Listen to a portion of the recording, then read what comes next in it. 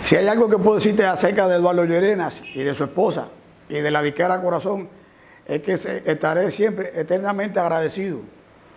Porque yo, muy joven, era miembro del Cuarteto Patria, el que tocaba el contrabajo con Eliado Ochoa, Benito Juárez, eh, Benito Suárez, mejor dicho, y Joaquín Solórzano.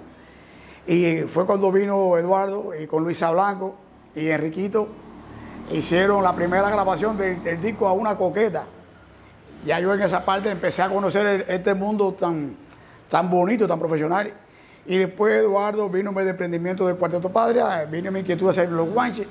Y fue el primero en grabarnos también a los guanches eh, el disco titulado Son de los Brujos. El muerto se fue de rumba, mejor dicho. Me está patinando el coco, pero no organizamos.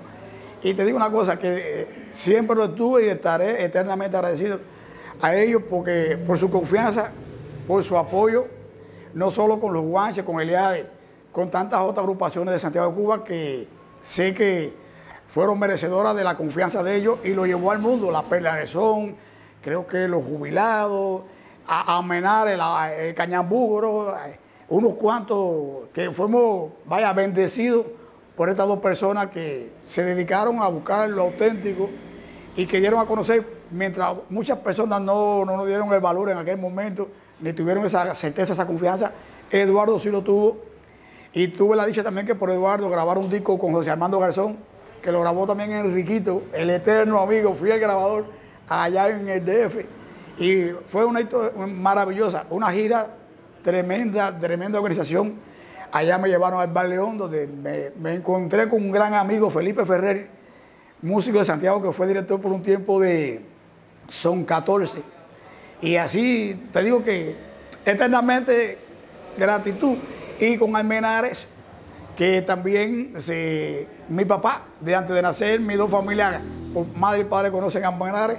Y yo nací conociendo a Almenares ya desde el vientre de mi madre. Y dicen que lo imito mucho hasta que me parezco que me estoy medio jorobado igual que Pero no, Almenares es un encanto de persona, no tiene secreto. Fue que me hizo mi primer tres, me ha dado muchos recursos, como se ha dado a tantas otras personas y por eso debe estar con nosotros en esta grabación y yo eh, le hablé y le montamos el tema de la mulatona porque siente también un eterno agradecimiento por Eduardo, la esposa y por esa disquera, pequeña pero grande en corazón, como bien se llaman. Es lo que te puedo decir. Agradecimiento total a Mary y al hijo y a toda la familia de Disco Corazón.